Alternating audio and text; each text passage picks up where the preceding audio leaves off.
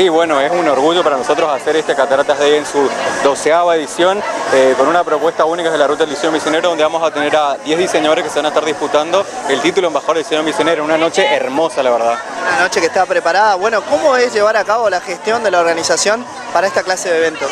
Bueno, es el trabajo de todo un año. Nosotros comenzamos la convocatoria en el mes de enero y cerramos la convocatoria en el mes de julio. Elegimos diseñadores de todos los puntos de la provincia para darle oportunidades a la gente del interior. Y bueno, el año pasado tuvimos la suerte de tener nuestra primera embajadora en la zona norte, una zona que estaba por ahí medio alejada eh, de este tipo de eventos y bueno, vinimos específicamente a Iguazú a buscar talento, tenemos modelos de la ciudad de Iguazú, tenemos representación de Iguazú y qué mejor que bueno, coronar al embajador de diseño misionero en esta edición del Caratas Day.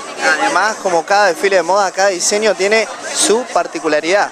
Totalmente, bueno, este año se tuvieron que inspirar en una temática específica que es Bendita Madre Tierra. Cada diseñador eh, agarró algo por ahí que les llamaba la atención de esta temática y van a presentar unos diseños increíbles, inspirados en distintas temáticas que nos representan a todos los misioneros, generando diseño autor con identidad 100% misionera. ¿Cómo las ves preparadas las chicas?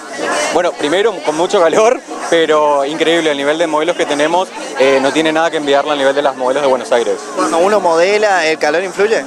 No, yo creo que yo empecé trabajando como modelo y uno cuando está arriba de una pasarela se olvida de todo y lo único que tenés en la mente es que se luzca el diseño de la persona para la que estás pasando.